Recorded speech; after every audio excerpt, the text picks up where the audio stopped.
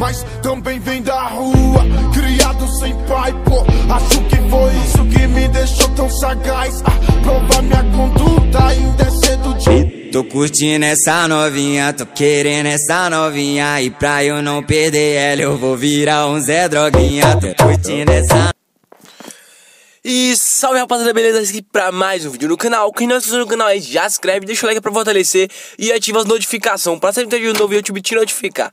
Então rapaziada, é essencial a importância aí Que você ative a notificação Porque se você se inscrever e não ativar a notificação Até você também que já é inscrito é, E por algum motivo tá... É, caiu de paraquedas aqui no vídeo, ativa a notificação, porque aí quando tiver vídeo novo, o YouTube te notifica, aí você não vai ter precisando pesquisar, tá ligado? Vai ficar informado de tudo aí sobre os games. Então, vamos falar hoje aí sobre o atoleiro aí, a estrada de terra aí no World Truck Simulator, rapaziada. É, acabou de sair hoje à tarde aí, é, um vídeo no canal do desenvolvedor aí, que tá mostrando aí o Volvo FH bem legal, é, passando numa estrada de terra, é, com a poeira, tudo lá, tudo certinho. Então vamos botar aqui pra vocês verem a gameplay, rapaz.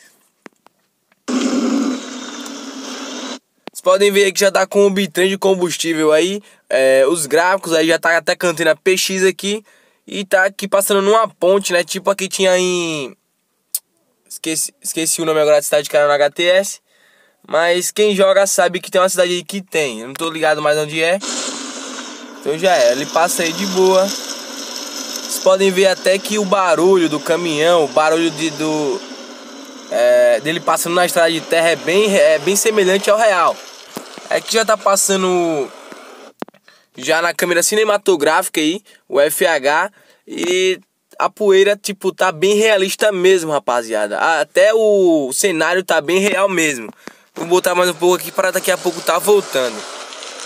Aqui vocês já podem ver é, o motorista dentro, né? Aqui a antena PX. Os tanques lá brilhando de boa. E o barulho do caminhão que tá bem parecido com o real, rapaziada. É, vocês podem ver que aí na frente, ó, onde vocês estão vendo aí na frente, é tipo um riachozinho. Ou seja, é, o caminhão, para ele poder passar por aqui, ele vai ter que passar, o caso vai ter que vir daqui passar ou então fazer o retorno, fazer a rotatória pela pedra para poder estar tá passando, rapaziada.